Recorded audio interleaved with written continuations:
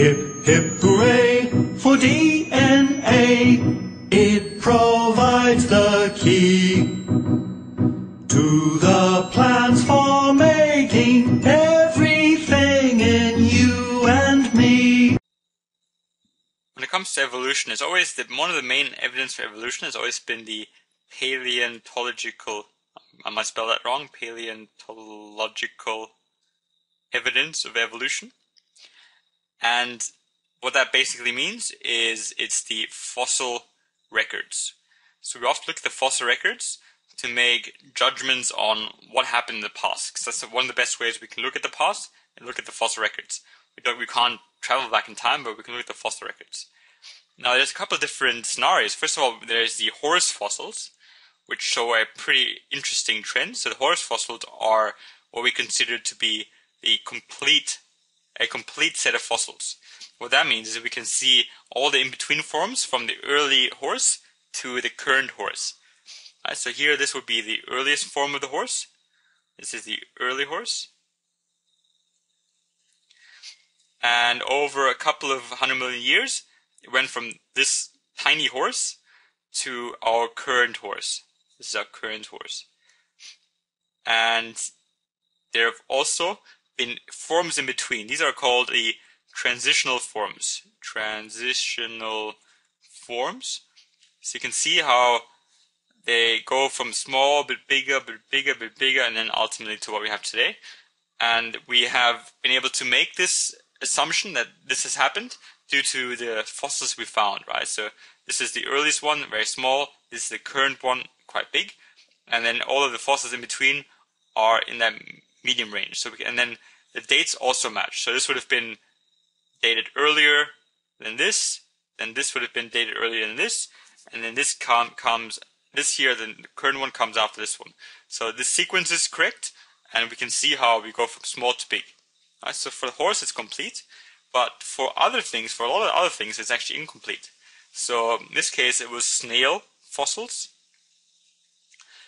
and these snail fossils are what is considered incomplete because in this case we actually go from we find a lot of fossils um, here like these ones all the same and we find all of these ones.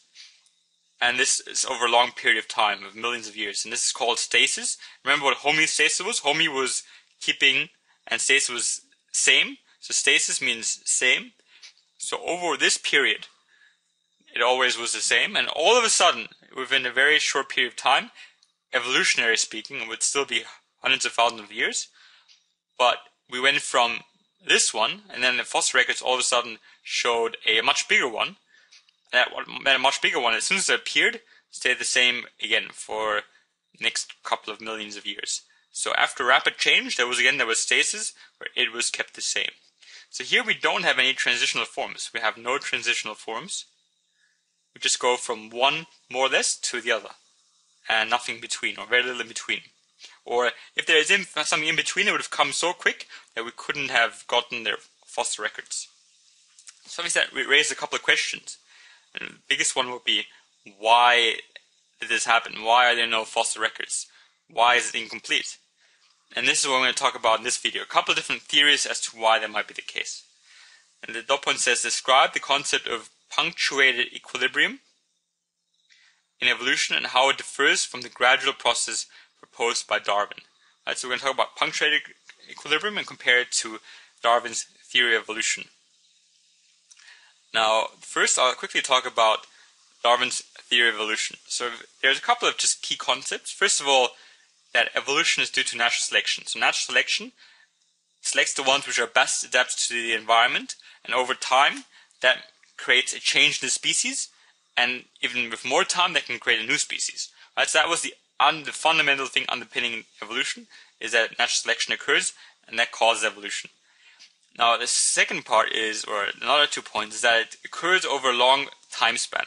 So that, you know, it's a slow process, like with the horse here, for example, you know, we start small and then go big, but this takes, from there to there, takes a long period of time, hundreds of millions of years, if not billion, mostly hundred millions of years. Right, so this might take hundred million of years, and usually we have these transitional forms in between. So it takes a long period of time and it's, it's gradual. So it's step by step. Right? That's what, so Darwin came up with that theory that evolution occurs natural selection, that occurs over a long period of time, and it's a step by step process. And the horse fossils would back up that claim. So the horse fossils are evidence for that because here we have the complete set. So again, with uh, his idea, you know, we'd have, let's say here we have these bugs, and let's say that if you have your legs to the side, and you have short legs, that that's a favorable trait, and over time your environment would pick for that trait. Maybe it means you can walk on the grass a bit easier. So in this case, you would have these different fossils, and over time, they so some of them would die out maybe, or would less chance of them being successful, and the other ones would be successful because it has its legs to the side and they're relatively short. But even then, you could still have these could have offspring which have variation, and then they could even have shorter legs, and then eventually they could become even shorter. And this might take millions of years, but over time we have a organism which is really well adapted to the environment. It takes gradual process, takes long time. Anything that doesn't isn't fitted for the environment dies out. That is Darwin's theory of evolution. How that differs from punctuated evolution is like so. This is the idea of evolution, of Darwin's evolution. Darwin's evolution. So we've got our butterfly here has these colored um, wings, and then they gradually change, and then we have eventually have these two new species, one with black and white, the other one with brown and orange. They're all different from the original one. This took a long time, was gradual. You can see the transitional forms in between. Now this is Darwin, but this here next is the punctuated equilibrium or punctuated evolution. Punctuated equilibrium. Here you can see this was our starting one. We have the same one, and we have the same ending ones plus this one as well. But what happens is it's not a gradual process. You know, there's no transition forms. All of a sudden, it's stable, and then boom, we have that one, and stable, and boom, we have that one, and then they remain that way. So here we have short bursts of evolution, followed by long periods of stableness, and that's the idea of punctuated evolution. So the main uh, things underpinning the punctuated evolution is that evolution mainly occurs to natural selection, just like Darwin's theory, so that is the same for both. But the difference is that it's it um, there are long periods of stability followed by rapid change. So that's different from theory of evolution. In theory of evolution, it was always change more or less, and then eventually it would evolve through gradual process into a new species. Here it says there's long periods of stability, and then all of a sudden there is rapid change. Now, some of scientists try to explain this way. Let's say we have this same area here, and the environment would have been same for lots of time, all, lots of periods of time. All of a sudden, there might have been a really warm period, which started to come in, creep in. Now, how we have ice ages, we have warm periods. These occur naturally. And what might have happened is that maybe over a period of 10,000 or 100,000 years, the grassland turned to desert in a very short period of time. So this, from going from grass to desert, would have been maybe 10,000 to 100,000 years. And this is quite a common occurrence where you have things changing quite quickly. And the idea now is that whatever is best adapted to environment will survive. If the conditions are so harsh, so dramatic that then all of them will die. But Sometimes some will be able to survive and those will be passed on. So that's one theory is that the change is so so dramatic that only the the fittest will survive, and thereby having a, a really quick change in the actual species, because the actual change was also really fast in terms of the environment. If the environment changes really fast, then the actual species also have to evolve really fast. Or another theory is if that happens, what could happen theoretically is let's say this bug is close is here and it's close to Greenland, so it leaves the desert because it doesn't like the desert. It goes to Greenland. Now this lived right on the border of the desert. And let's say it was a family, so the family looked all quite similar.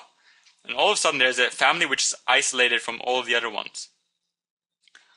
And what happens if there's if there's isolation? Well, if there's isolation, then only this only the ones which look quite similar because they're maybe all closely related, they will reproduce. And over time, maybe quite quickly, you might have a new species being created because it's more or less inbreeding. And the variation, so, you know, if these have all have long legs, the first one that moved over, the first couple that moved over, they have, all have long legs. Then all of the new ones will also have long legs, even though that might not be the case for your common bugs. The common bug might have, you know, short legs, but because this one guy who was, this one bug which was close to the border had long legs, thereby all the offspring had long legs. And this is maybe also how it could occur. So it could occur due to fleeing, naturally, so fleeing, or because the environment changes so quickly that within a very short period of time, only the fittest get selected. Therefore, we have a change which is really rapid as opposed to gradual and slow. So this again, this is the idea of um, Darwin's evolution here. We have a lizard, it gradually changes, becomes different color, then maybe uh, smaller, and this might take a long time. Whereas punctuate equilibrium means we would go from a lizard to maybe a bird within a short period of time. So the change is dramatic, and the period of time is quite short as well. That was punctuate equilibrium. Uh, so again, uh, the crunch point here is evolution occurs natural selection, so does punctuate evolution.